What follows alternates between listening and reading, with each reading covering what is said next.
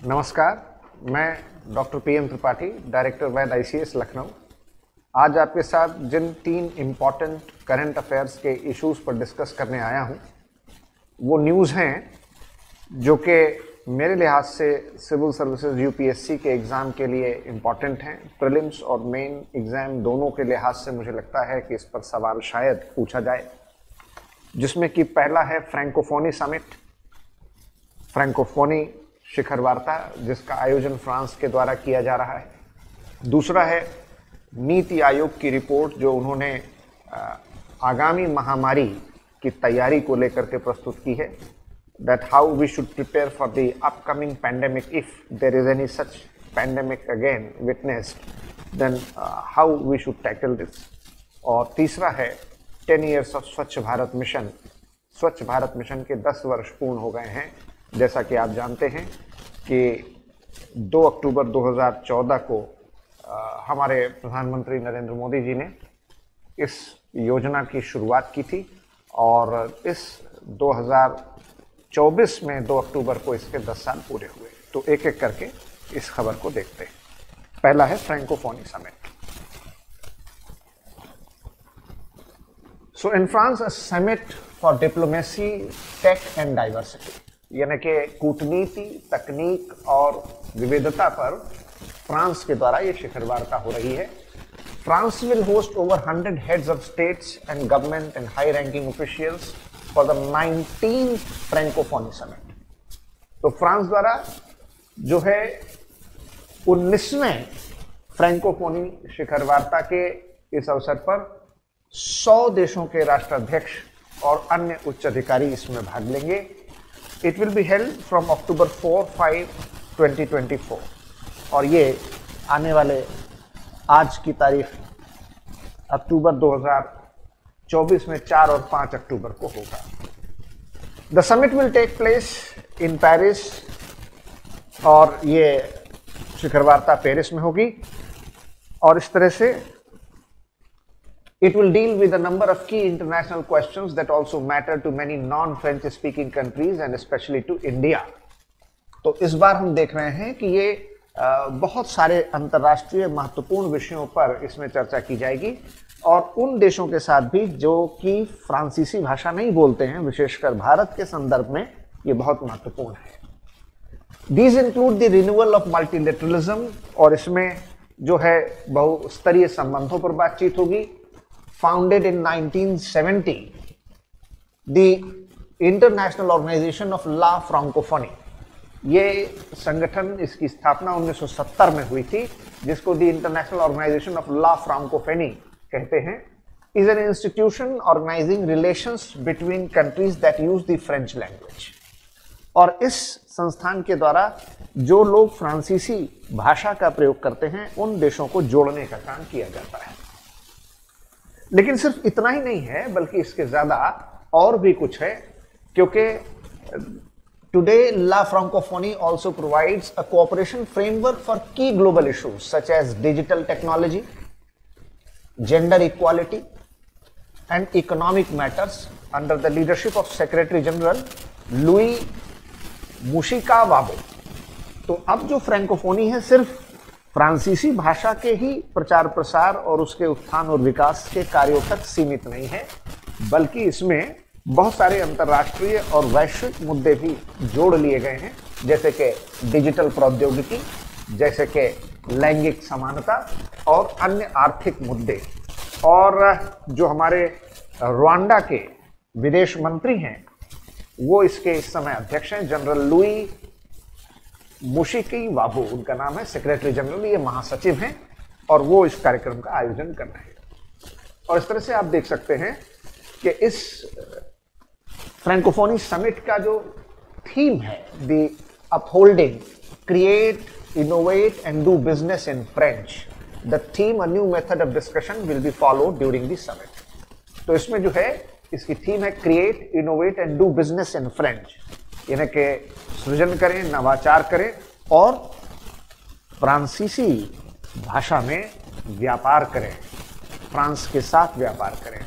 France के तौर तरीकों के साथ जुड़ें।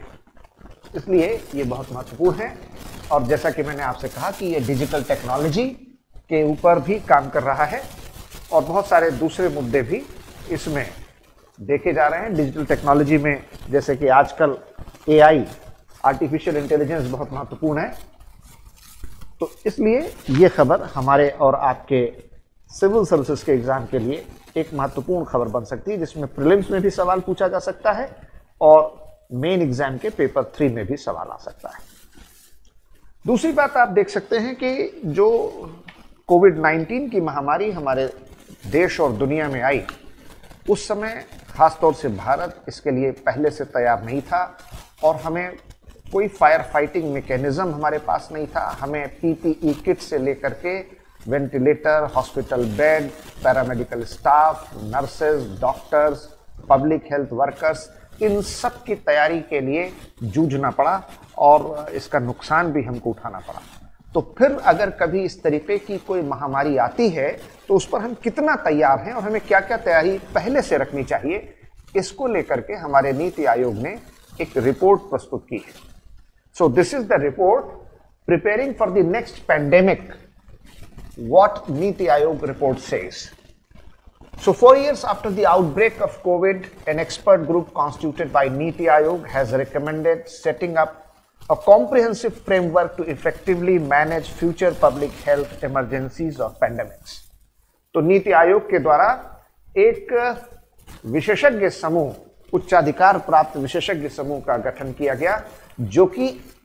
भविष्य में होने वाली किसी भी तरह की महामारी के संदर्भ में एक विस्तृत अनुशंसा रिपोर्ट तैयार करेगी।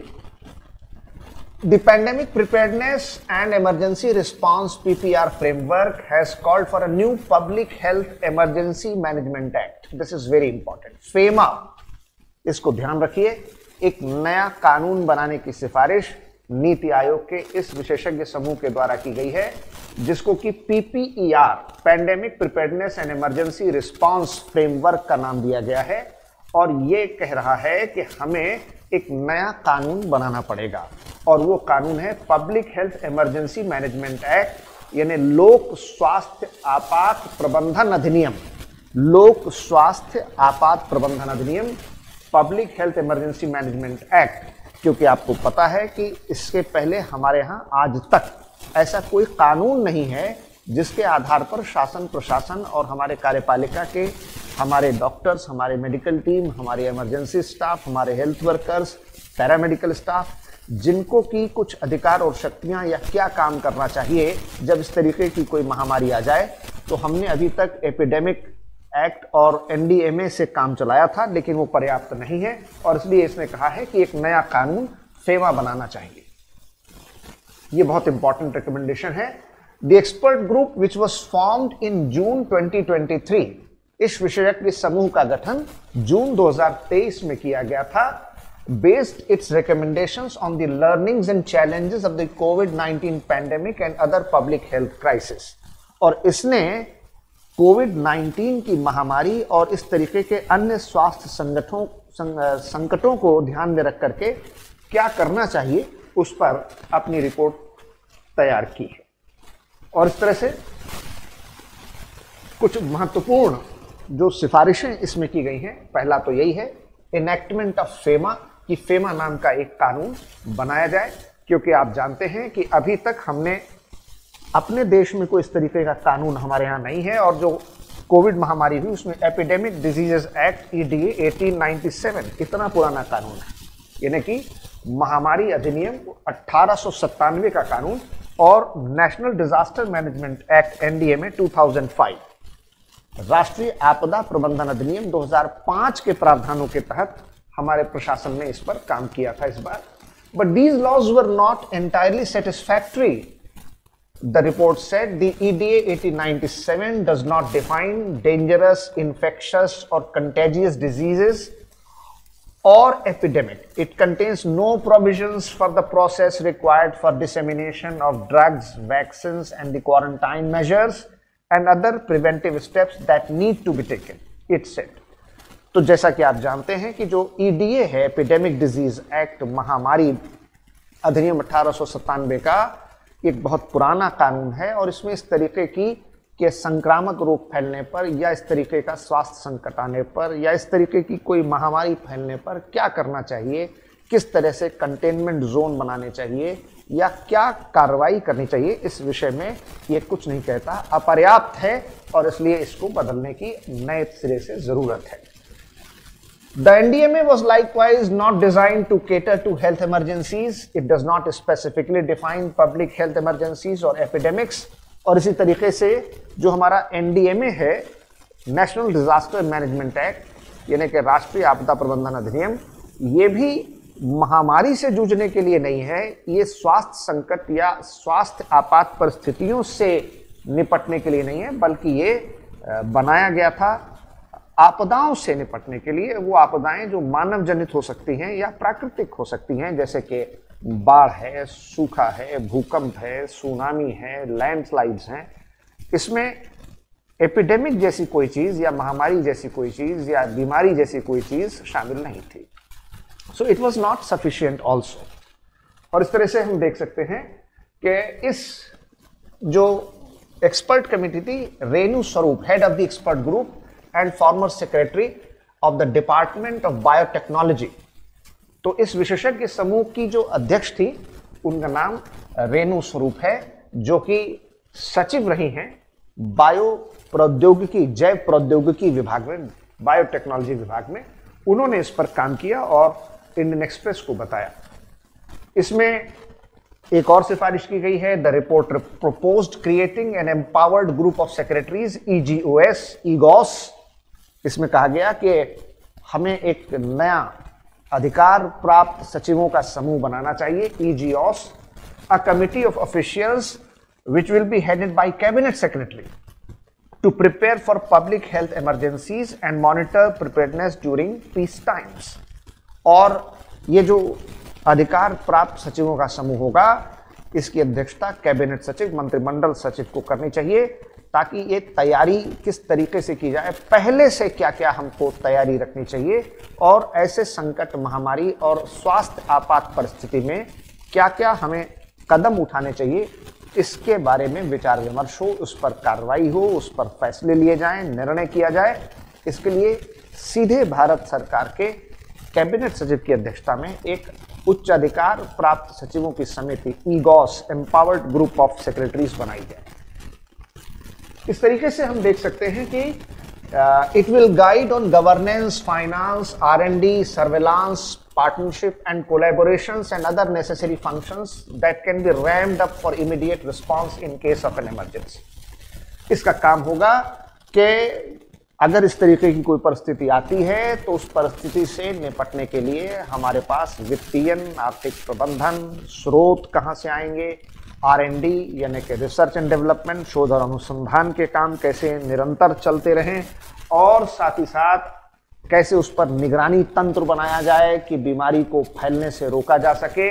और कैसे हम स्वास्थ्य सेवाओं, स्वास्थ्य तकनीक, स्वास्थ्य क्षेत्र से जुड़े हुए विशेषज्ञों, संस्थानों और संगठनों के साथ मिल करके काम करें, ये सारे सुझाव इस समिति के द्वारा दिया जाएगा। इस तरह से एक और बात कही गई है to strengthen surveillance the report made several recommendation for strengthening the disease surveillance network और इसमें यह कहा गया कि महामारी के समय में उसका निगरानी करने के लिए एक मज़बूत तंत्र हमारे पास होना चाहिए। और वो मज़बूत तंत्र कैसे बनाया जाए, ये भी इस समिति की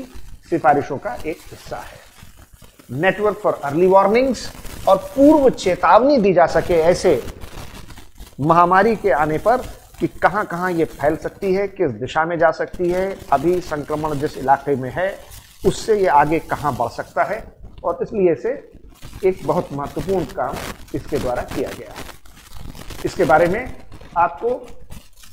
अगर और डिटेल से जानना है तो समझना पड़ेगा कि इसमें इंडिपेंडेंट ड्रग रेगुलेटर की भी बात कही गई है। यानी कि स्वतंत्र जो औषधि विनियमन का काम करने वाले लोग हैं, ऐसे लोगों जो कि वैक्सीन ड्रग्स इन सब के निर्माण के ऊपर नज़र रखें कि किस तरीके से ये काम किया जा सकता है। और इस तरह से ये रिपोर्ट बहुत महत्वपूर्ण है। तो दोनों ही खबरों पर अगर आपको डिटेल में और जानकारी चाहिए तो आप हमारे इस वीडियो के साथ दिए गए लिंक पर क्लिक करें तो आपको ज़्यादा डिटेल एनालिसिस के साथ सारा मैटर और कंटेंट भी मिल जाएगा, जिसको आप डाउनलोड भी कर सकते हैं और अपने नोट्स बना सकते हैं, अपने एग्ज़ाम में उसको यूज़ कर सकते हैं। अब तीसरी जो बड़ी महत्वपूर्ण खबर है टेन ईयर्स ऑफ़ स्वच्छ भारत मिशन स्वच्छ भारत मिशन के 10 वर्ष पूर्ण हुए। जैसा कि आप जानते हैं कि स्वच्छ भारत मिशन कोई सिर्फ़ देश में साफ़ सफ़ाई या शौचालय बनाने का ही कार्यक्रम नहीं था, ये लोगों के मनोवैज्ञानिक सोच और व्यवहार को बदलने का भी एक प्रयास था। So it was not only restricted to building up of construction of toilets और spreading health and hygiene rather, it was more related to psychological and behavioral changes in the Indian society. तो ये बहुत महत्वपूर्ण है। जैसा कि आप जानते हैं, Swachh Bharat mission one of the first programs announced by prime minister Narendra Modi after he took office in 2014 completes 10 years on October 2 2024 तो प्रधानमंत्री मोदी के द्वारा जब अपने प्रथम कार्यकाल 2014 में उन्होंने शुरुआत की थी तो जो कुछ पहले बड़े महत्वाकांक्षी कार्यक्रम उनके द्वारा घोषित किए गए, उसमें स्वच्छ भारत मिशन एक था, जो कि 2 अक्टूबर 2014 से शुरू हुआ और 2 अक्टूबर 2024 को इसने अपने 10 साल पूरे कर लिए। The mission was divided into Swachh Bharat mission Gramin for villages and Swachh Bharat mission urban for cities executed by the Ministry of Drinking, Water and Sanitation and the Ministry of Housing and Urban Affairs, respectively. तो ये जो स्वच्छ Bharat mission था, इसके दो हिस्से किए गए। स्वच्छ भारत मिशन ग्रामीण और स्वच्छ भारत मिशन नगरीय या शहरी। और इन दोनों कार्यक्रमों को लागू करने की ज़िम्मेदारी थी पेयजल और स्वच्छता मंत्रालय की, जो कि ग्रामीण क्षेत्रों में यह काम कर रहा था। और ministry of housing and urban affairs आवास तथा शहरी मामलों का मंत्रालय, जो कि शहरों में इस काम के लिए उत्तरदायी था, जिम्मेदार था। As focus areas were building individual toilets community toilets solid waste management and leading awareness campaign aimed at behavioural changes जैसा कि मैंने आपको पहले ही बताया कि स्वच्छ भारत मिशन में शौचालय के निर्माण के साथ साथ व्यक्तिगत शौचालय उपयोग के लिए, सामुदायिक शौचालय उपयोग के लिए और ठोस अपशिष्ट प्रबंधन के लिए, साथ ही साथ लोगों में जन जागरूकता फैलाने और उनके व्यवहार और मनोविज्ञान में बदलाव लाने के लिए कार्यक्रम किया गया था। The P M announce that the S B M's main goal was to make India open defecation free by October two twenty nineteen for which crores of household and community toilets had to be constructed प्रधानमंत्री मोदी ने जब इसकी घोषणा की थी तो उन्होंने कहा कि 2 अक्टूबर 2019 को जब इस कार्यक्रम के पाँच साल पूरे होंगे तो हम देश को खुले में शौच से मुक्त करने का जो लक्ष्य है, उसको प्राप्त करने का प्रयास करेंगे। और इसके लिए हमें देश में करोड़ों शौचालय बनाने की आवश्यकता होगी, और वो शौचालय व्यक्तिगत प्रयोग के लिए हों और सामुदायिक प्रयोग के लिए भी और इस तरह से ओपन डेफिकेशन फ्री की परिभाषा क्या होगी? शौच मुक्त होने का what will be the definition of ODF the definition of ODF under the mission is as follows a city or ward can be notified declared as an ODF city or ODF ward if at any point of the day not a single person is found defecating in the open तो इसका जो मानक तय किया गया है, वो ये तय किया गया कि अगर किसी भी शहर में या किसी भी क्षेत्र में, वार्ड में, पार्षद क्षेत्र में एक भी व्यक्ति पूरे दिन में कहीं पर भी खुले में शौच करते हुए नहीं पाया जाता है, नहीं देखा जाता है तो उस क्षेत्र को हम खुले में शौच से मुक्त घोषित कर सकते हैं, ओपन डेफिकेशन फ्री डिक्लेयर कर सकते हैं, नोटिफाई किया जा सकता है। आप जानते हैं to achieve the aim, the government's assistance was increased from rupees 10,000 per toilet on the Nirmal Bharat Abhiyan of the previous UPA government to rupees 12,000 under the SPF. तो ये कार्यक्रम जो है स्वच्छ भारत मिशन यूपीए की सरकार में यानी 2014 के पहले भी चल रहा था जहाँ उसको निर्मल भारत अभियान एनबीए कहा जाता था और निर्मल भारत अभियान में प्रत्येक शौचालय के निर्माण के लिए जो रुपए दस हज़ार दिए जाते थे, उसको स्वच्छ भारत मिशन में शौचालय निर्माण के लिए बढ़ा करके बारह हज़ार रुपए, यानी दो हज़ार रुपए अतिरिक्त धनराशि दे दी गई। When the mission completed five years in 2021 the government launch S B M two with focus on garbage free cities faecal sludge plastic waste and grey water management. और जब इस मिशन के द्वारा 2021 में पाँच वर्ष पूरे किए गए तो सरकार ने स्वच्छ भारत मिशन भाग दो की शुरुआत कर दी। और इस बार इसका ध्यान जो है, वो शहरों को कचरे और कूड़े से मुक्त करना, जो अपशिष्ट मल है, मानव मल जो इधर उधर पड़ा रहता है, नालियों में, रेलवे ट्रैक के आसपास या ऐसी जगहों पर जहाँ लोग मलमूत्र का त्याग करते हैं, उस गंदगी से पूरे शहर को मुक्त करना साफ़ सफ़ाई फैलाना साफ़ सफ़ाई के बारे में जागरूकता और साथ ही प्लास्टिक वेस्ट, जो हम लोग प्लास्टिक इस्तेमाल करते हैं। बहुत सारा हमारा जो कंप्यूटर वेयर है, हमारे इलेक्ट्रॉनिक वेयर हैं, हमारी पैकेजिंग है, हमारे पॉलीथीन है, हमारे बाल्टी है, हमारे बहुत सारे घर में कामकाज की चीज़ें हैं, जिनमें प्लास्टिक का इस्तेमाल होता है। और उसका इस्तेमाल करने के बाद हम उसे फेंक देते हैं और इस तरीके से हम वातावरण में प्रदूषण फैलाते हैं, उससे बहुत नुकसान होता है। उसको भी कैसे नियंत्रित किया जाए और कैसे प्रदूषित जल को ठीक किया जाए, इसके बारे में ये कार्रवाई स्वच्छ भारत मिशन भाग दो में की Now, what has been the achievement? With over 10 crore toilets constructed, PM Modi declared 6 lakh villages open defecation free on October 2, 2019. यानी कि इसकी सबसे बड़ी उपलब्धि ये रही कि 10 करोड़ से भी अधिक ज़्यादा शौचालय पूरे देश में बनाए गए और प्रधानमंत्री मोदी ने 6 लाख गाँवों को भारत के 6 लाख गाँवों को 2 अक्टूबर 2019 को खुले में शौच से मुक्त घोषित कर दिया और इस तरीके से urban India except for cities in West Bengal urban यानी नगरीय क्षेत्रों में केवल कुछ शहर पश्चिम बंगाल के छोड़ दें तो बाकी में भी इसमें उल्लेखनीय प्रगति हुई है। और इस तरह से हम देख सकते हैं कि इसका बहुत सारा असर हमारे दैनिक जीवन पर, स्वास्थ्य सफ़ाई पर पड़ा है। तो आप इन खबरों को अच्छे से तैयार करें, अपने नोट्स बनाएँ और कोशिश करें कि इन पर शॉर्ट नोट्स बना करके रखें ताकि अगर ज़रूरत पड़े तो आप उसको अपने लॉन्ग आंसर्स में भी और शॉर्ट आंसर्स में भी प्रयोग कर सकें। मैं फिर आपसे कह रहा हूँ कि अगर आपको इससे जुड़ा डिटेल्ड मैटर विस्तृत